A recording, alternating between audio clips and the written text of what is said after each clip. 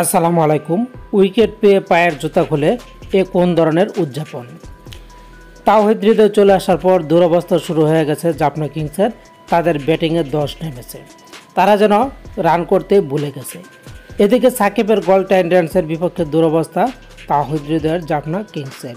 গল Titans আগে প্রথমে bowling করে জাপনা কিংসের বিপক্ষে, যেখানে গল টাইটান্সের সাকিবের সতীর্থ বলাররা উইকেট পেয়ে পা থেকে জুতা খুলে তারপর ডায়াল করে কল করার অঙ্গভঙ্গি করে সেলিব্রেশন করে এটা কোন ধরনের সেলিব্রেশন? পা থেকে জুতা খুলে করা।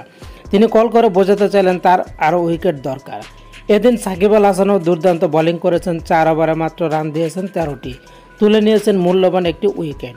জেগে উঠেছে সাকিব আল হাসানের গল টাইটান্স, যেখানে তারা পয়েন্ট টেবিলের তলানিতে অবস্থান করছে। পা থেকে জুতা খুলে সেলিব্রেশন এটা আপনারা কীভাবে দেখছেন? শেষ পর্যন্ত জাফনা কিংস উনানব্বই রানে অল আউট হয়ে যায়।